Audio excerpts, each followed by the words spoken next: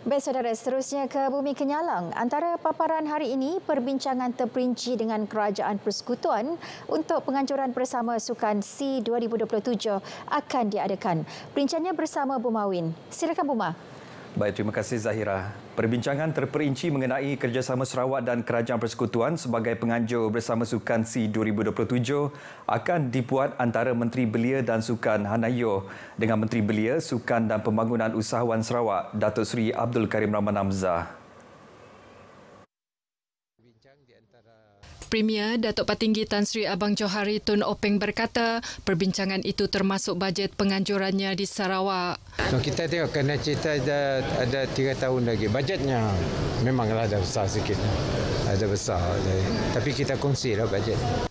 Beliau ditemui pemberita selepas hadir majlis minum petang bersempena 100 tahun Standard Chartered Kuching di Kuching. Sementara itu, tiada perancangan untuk membina stadium baharu atau membesarkan stadium sedia ada buat masa ini. Majlis penyampaian insentif kemenangan kepada atlet Sarawak yang berjaya meraih pingat pada Temasya Sukan Malaysia Sukma ke-21 Sarawak akan diadakan pada 14 September ini. Menteri Belia Sukan dan Pembangunan Usahawan Datuk Seri Abdul Karim Rahman Hamzah memberitahu penyerahan insentif akan disempurnakan oleh Premier Datuk Patinggi Tan Sri Abang Johari Tonapeng pada majlis makan malam di Kuching. Katanya tarikh berkenaan dipilih selepas mengambil kira jadual padat Datuk Patinggi Tan Sri Abang Johari Tun Openg ketika ini termasuk lawatan rasminya ke luar negara. He will only be available on the 14th. So I was informed last night, get ready. Told the ceremony on the 14th of September. So 14th of September will be the date unless there's some changes from Premier Office where we will be rewarding those that we have promised. Mengenai jumlah perbelanjaan bagi pembayaran insentif tersebut, beliau berkata ia akan dimaklumkan oleh kementerian berkaitan atau pejabat setiausaha keuangan negeri kemudian. Sarawak menawarkan insentif berjumlah RM15,000 kepada pemenang pingat emas, RM5,000 bagi pingat perak dan RM3,000 untuk pingat gangsa.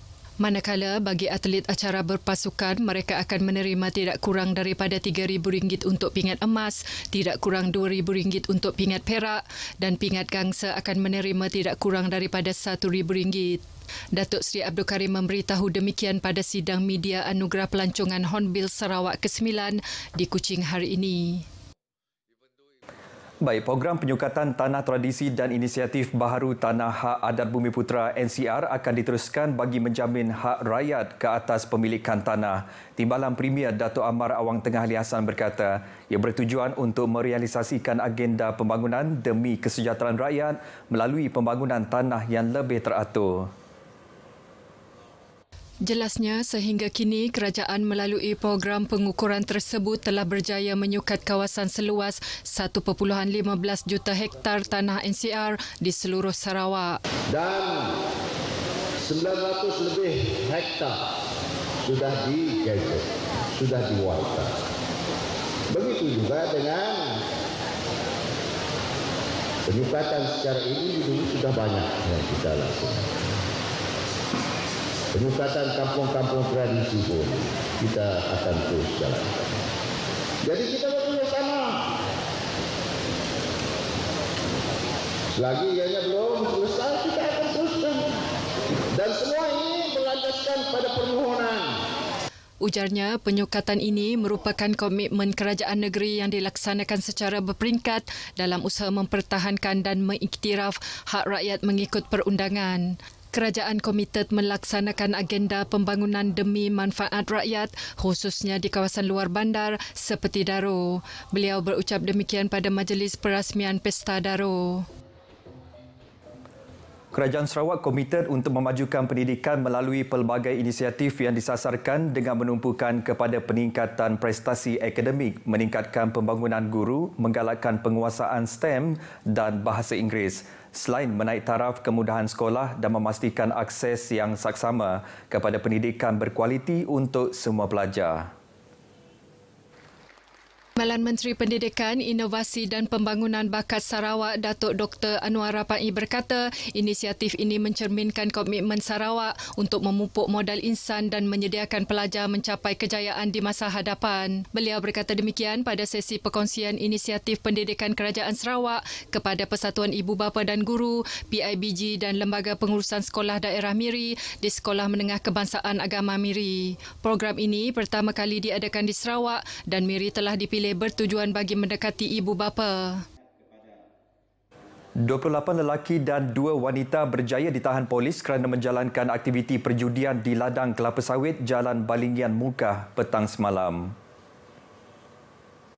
Ketua Polis Daerah Mukah DSP Muhammad Rizal alias dalam kenyataan memberitahu serbuan dilakukan pada pukul 3 petang ketika mereka sedang leka menyabung ayam. Menyedari kehadiran polis, mereka cuba melarikan diri namun kesemua suspek berumur antara 24 hingga 39 tahun berjaya ditahan. Pihaknya telah merampas 18 ekor ayam hidup, 2 ekor ayam mati dan satu unit alat penimbang. Turut dirampas pelbagai peralatan perjudian dan wang tunai berjumlah RM42,000 RM1,090 kes disiasat di bawah Seksyen 73 Kurungan 1 Kurungan G Ordinan Veterina Kesihatan Awam 1999 dan Seksyen 6 Kurungan 1 Akta Rumah Judi Terbuka 1953.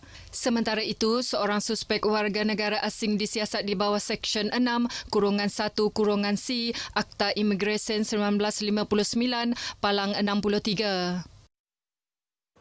Baik saudara, perkongsian itu tadi mengakhiri berita dari Sarawak, Malaysia Madani, Jiwa Merdeka. Kembali bersama Zahira untuk perkembangan berita selanjutnya. Zahira, silakan. Baik, terima kasih Buma.